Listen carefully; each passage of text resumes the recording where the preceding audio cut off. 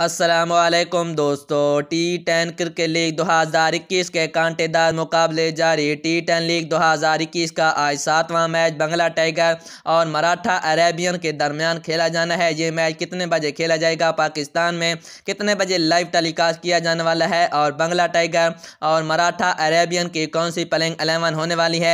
आज हम आपको इस वीडियो में बताने वाले हैं तो इस वीडियो को शुरू से आखिर तक ज़रूर देखिए। तो बात कर लेते हैं सातवें मैच के बारे में। तो तीस जनवरी यानी यानी आज को पाकिस्तान में पाँच बजे बंगला टाइगर और मराठा अरेबियन के दरमियान ये मैच लाइव टेलीकास्ट किया जाएगा। पाकिस्तान में टेन सपोर्ट पर लाइव टेलीकास्ट किया जाएगा, जबकि इंडिया में सोनी सिक्स और सोनी टेन थ्री पर बांग्लादेश में टी सपोर्ट्स और अफ़गानिस्तान में आर टी ए सपोर्ट पर लाइव टेलीकास्ट किया जाएगा। बात कर लेते हैं बंगला टाइगर की प्लेइंग एलेवन के बारे में तो इन्हीं का आगाज़ करेंगे आंद्रे फ्लैचर और उनका साथ देने दूसरे ओपनर के तौर पर जोहान चार्लस।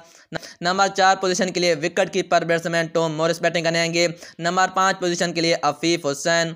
नंबर छः पोजीशन के लिए चिराग सूरी। नंबर सात पोजीशन के लिए जॉर्ज गाटोन नंबर आठ पोजीशन के लिए Pakistani fast bowler Mohammad Irfan, number नौ पोजीशन के लिए कैस एमन नंबर दस पोजीशन के लिए फजल हक और नंबर अलेवन पोजीशन के लिए करीम जन्नत को खिलाया जाएगा। अब बात कर लेते हैं मराठा अरेबियन की प्लेइंग अलेवन के बारे में। तो इनिंग का आगाज़ करेंगे जावेद अहमदी। उनका साथ देने दूसरे ओपनर के तौर पर अब्दुल शकूर। नंबर तीन पोजीशन के लिए लोरी इमान बैटिंग करने आएँगे। नंबर चार पोजीशन के लिए Pakistani professor batsman Mohammad Hafeez batting करने आएँगे। नंबर पाँच पोजीशन के लिए मुसद्दिक हुसैन, जबकि नंबर छः पोजीशन के लिए शोएब मलिक की टीम में वापसी हो सकती है।